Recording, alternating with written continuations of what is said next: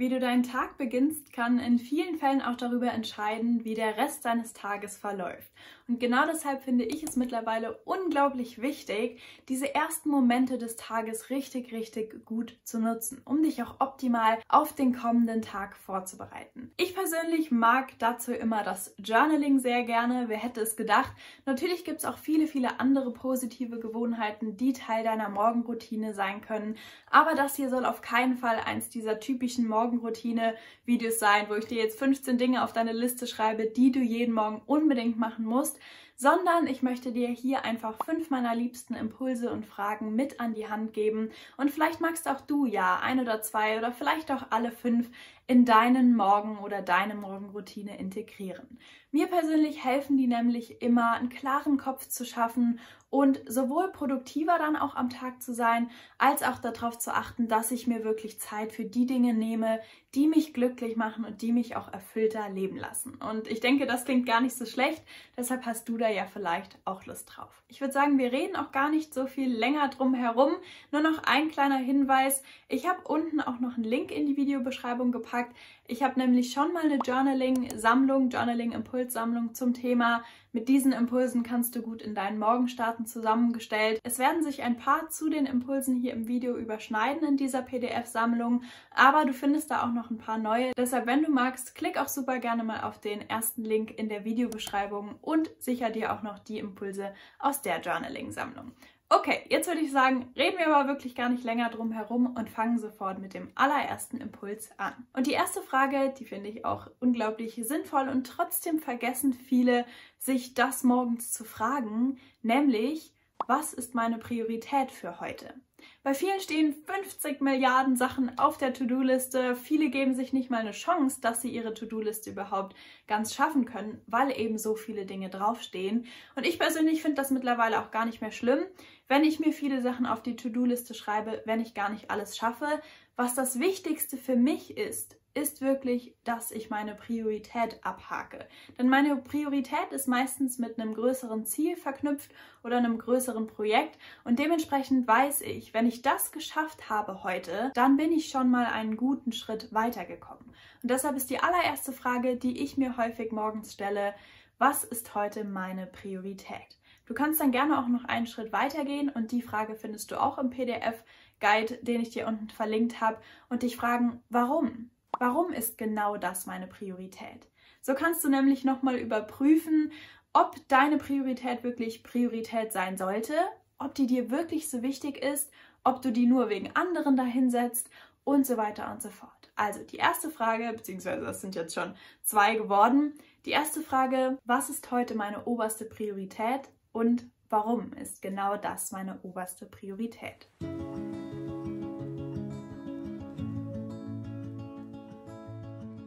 Impuls Nummer zwei gliedert sich auch wieder in zwei kleine Teilfragen bzw. Teilbereiche. Und zwar geht es um das Mehr- und Weniger-Prinzip. Ich formuliere nämlich auch ganz gerne in meinem Journal den Satzanfang, ich möchte heute weniger. Und dann schaue ich einfach mal, was da kommt. Möchte ich weniger prokrastinieren? Möchte ich weniger auf Facebook oder Instagram scrollen? Möchte ich weniger Schokolade essen? und einfach mal all diese Dinge sammeln, die mich vielleicht auch an den Tagen vorher ein wenig zurückgehalten haben. Ich nutze ja mittlerweile auch einen digitalen Planer und da sind ähnliche Fragen auch immer in den Tag eingebaut. Das hilft mir immer sehr. Was hätte ich heute besser machen können, ist da zum Beispiel eine Frage. Und ähnlich funktioniert auch dieser Impuls für mich. Ich möchte heute weniger, weil mich das zum Beispiel gestern oder letzte Woche ein wenig zurückgehalten hat oder dafür gesorgt hat, dass ich nicht mein bestes Leben gelebt habe oder meinen besten, produktivsten Tag haben konnte. Genauso gibt es dann auch noch das Gegenstück zu diesem Impuls, nämlich die Frage bzw. den Satz anfangen, ich möchte heute mehr. Wofür möchte ich mir heute mehr Zeit nehmen? Was darf heute mehr Zeit in meinem Tag beanspruchen, mehr Raum in meinem Tag beanspruchen? Und auch hier, wenn du magst und die Zeit dazu hast, frag dich auch hier gerne nochmal, warum? Warum ist mir das wichtig? Denn ich sage immer, ein starkes Warum ist so eine kraftvolle Sache, die auch dafür sorgen kann, dass du das auch tatsächlich einhältst. Warum möchte ich das und das nicht mehr machen? Wenn du nochmal auf dem Blatt Papier vor dir siehst, wie dich das zurückhält, wird es dir leichter fallen, diese Dinge vielleicht gehen zu lassen. Genauso auch die Dinge, die du mehr in deinen Alltag integrieren möchtest. Ich möchte heute mehr Zeit für meine Familie einplanen, Pausen machen, Liebe mir selber schenken und so weiter und so fort. Was auch immer da für dich hochkommt. Ich finde das immer spannend, diese beiden Seiten dann auch gegenüberstehen zu haben und sich daran auch am Tag zu orientieren.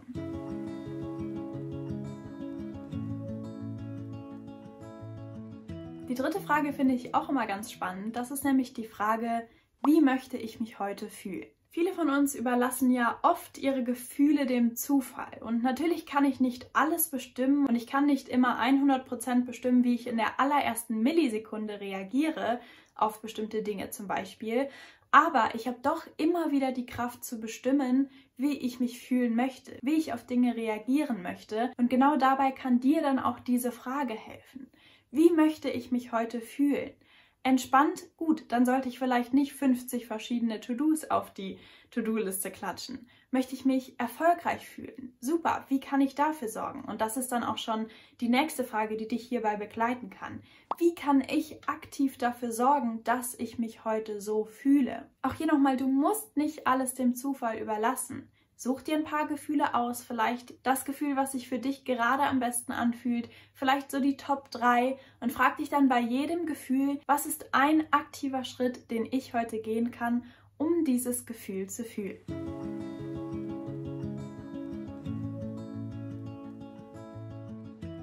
Weiter geht's dann auch schon direkt mit dem vierten Impuls. Und auch das ist wieder ein Satzanfang, der mir auch schon in vielen, vielen Situationen geholfen hat.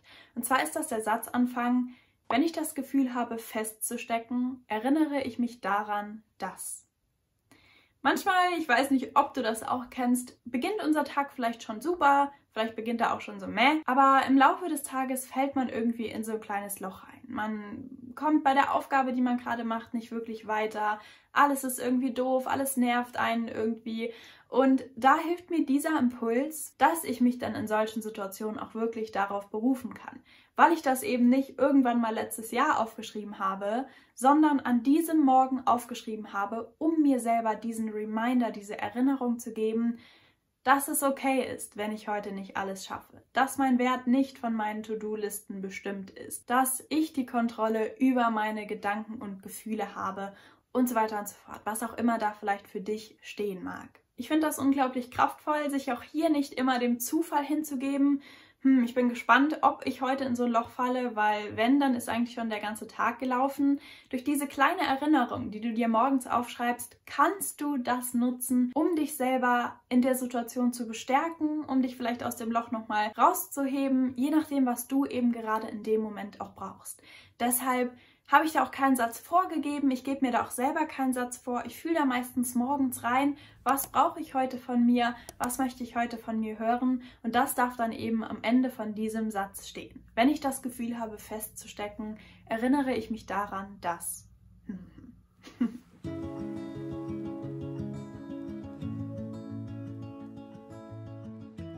Und der fünfte und damit letzte Impuls bzw. die letzte Frage für dieses Video heute ist auch eine sehr schöne. Ich finde natürlich immer jede Journaling-Frage, die ich hier mit euch teile, schön. Aber die besonders, weil sie doch oft zu kurz kommt, beziehungsweise die Antwort darauf.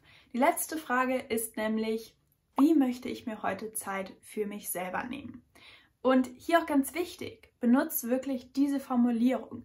Nicht nehme ich mir heute Zeit für mich selber oder ich gucke mal, ob ich mir heute irgendwie Zeit für mich selber nehme, ob ich dazu noch Zeit habe, sondern du schreibst dahin, ich nehme mir heute Zeit für mich selber. Die Frage ist nur, wie mache ich das? Auf welche Art und Weise? Und dazu lädt eben dieser letzte Impuls ein. Wie nehme ich mir heute Zeit für mich selber? Und auch hier, wenn dich das jetzt überfordert, wenn du das Gefühl hast, mein Tag ist so voll, ich kann mir gar keine Zeit mehr für mich selber nehmen, es muss nicht immer eine Stunde oder zwei sein. Es können auch ganz, ganz, ganz kleine Gesten sein, aber das ist auch das, was ich am Journaling liebe, das Aufschreiben davon, dass du dir einfach schon mal kurz diese Gedanken machst und dir vielleicht ein paar kleine Ideen überlegst, wie du dir selber Liebe, Aufmerksamkeit entgegenbringen kannst in deinem Tag, das führt dazu, dass die Wahrscheinlichkeit, dass du das auch tatsächlich umsetzt, so, so, so viel höher ist. Deshalb nimm dir auf jeden Fall die Zeit, Auch wenn du nicht jede andere Frage beantwortest, die finde ich sollte immer irgendwie Teil deines Lebens und Teil deines Tages sein. Du musst auch nicht immer dazu was aufschreiben, wenn du nicht magst, aber dieses, wie nehme ich mir heute Zeit für mich selber, wie schenke ich mir heute selber Aufmerksamkeit, Liebe, das darf Teil von jedem Tag in deinem Leben sein.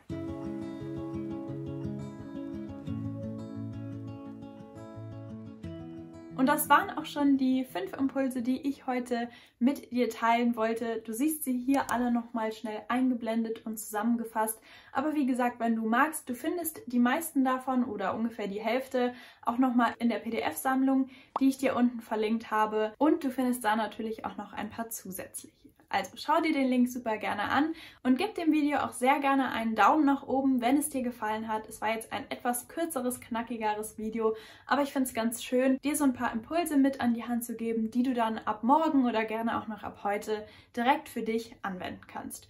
Wenn du mehr dieser Videos sehen willst und wenn du keine Videos mehr verpassen möchtest zum Thema, wie kann ich mich selber besser kennen, lieben und verstehen lernen und wie kann ich mein bestes Leben in dem Rahmen dann auch kreieren, dann abonniere super gerne meinen Kanal, falls du das noch nicht getan hast. Und ich würde mich riesig freuen, wenn wir uns im nächsten Video wiedersehen. Ich wünsche dir ganz viel Spaß beim Journalen und noch einen wunder, wunder, wunderschönen Tag.